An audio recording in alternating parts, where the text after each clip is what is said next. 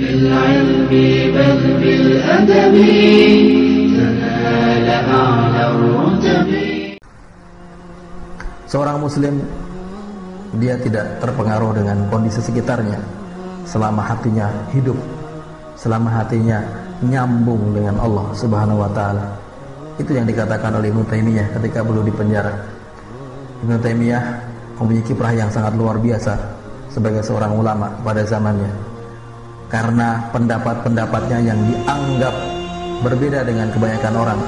Kemudian ulama-ulama lain yang tidak suka dengan beliau melaporkannya kepada penguasa memutarbalikkan fatwa-fatwanya sehingga kemudian dia dituduh dengan tuduhan-tuduhan yang keji dan kemudian dipenjara selama belasan tahun. Dan akhirnya beliau meninggal di penjara. Tapi kita simak apa yang dia katakan beliau ketika di penjara. Beliau mengatakan ma yaf'alu a'da'i bi Emangnya apa yang bisa dilakukan oleh musuh-musuhku kepadaku? Inna jannati wa bustani fi sadri. Sesungguhnya surgaku itu ada dalam hatiku.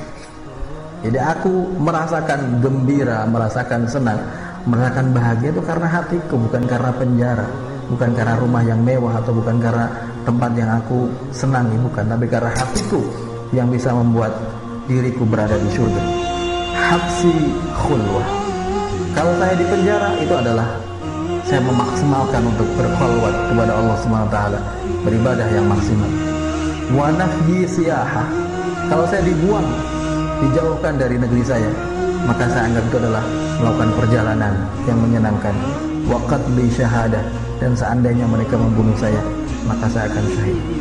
Bagi seorang mukmin, kondisi apa pun tidak mempengaruhi dirinya selama hatinya hidup selama hatinya nyambung dengan Allah Subhanahu wa taala. Ya ikhwatan ahidtukum antum baqaya ya rubi muddu yadal auni liqalibin wada fi talabi